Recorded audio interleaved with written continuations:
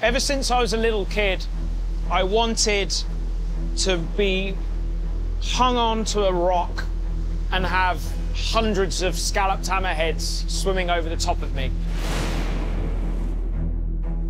And it was Shark Week that gave me that moment. In 2016, at Cocos Island, 30 meters down, 90 feet down, holding onto that rock, and literally hundreds of scalloped hammerheads swimming over the top of me. Unbelievable. One of the most magical moments of my life. If you want to see sharks, you go to French Polynesia. And so that's why I've been drawn to this adventure, is to, to get experiences with animals that also haven't had many encounters with humans before too. People have overpopulated the world. There's not many places that you can go to that it's not overrun with people. We know that tiger sharks are actually highly mobile, that they travel long distances. So trying to unravel, you know, why these females have selected this atoll, what makes it unique compared to the 117 other atolls that we have in French Polynesia. Tiger sharks are really one of the most successful big predators out there. You know, they grow pretty quickly. They reach maturity at a relatively young age comparison to other species, you know, maybe six to eight years of age. They have lots of pups. I think of all the species that we've that we've dived with, the one that's had the biggest impact on me is the silvertip. They just have an energy about them that I have never seen before in other sharks. And visually, they're just a completely like dark body with these really bright silver tips. They're very inquisitive, but they're extremely fast. And there's, yeah, I, I, I've just been drawn in by that species. If I was a shark,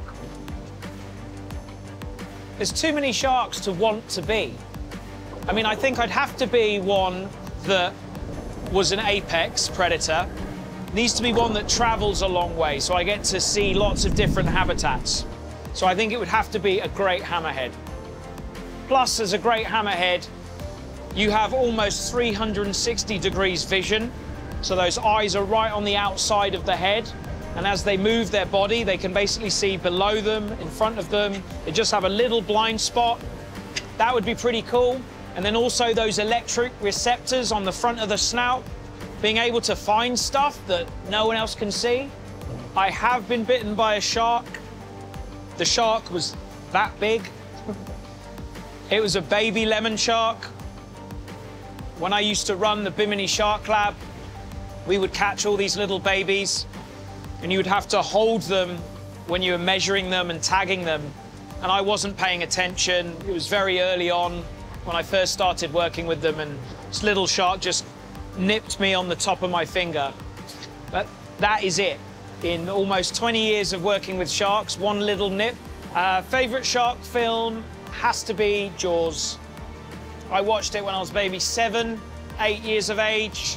Obviously, I was terrified, but instead of harnessing that fear and being terrified of sharks the rest of my life, I used it in a way to, I wanted to learn more about them. And of course, Hooper, the scientist on there, I thought he was the coolest dude the, on the planet. And I, yeah, and for me, Jaws had a very positive impact on me.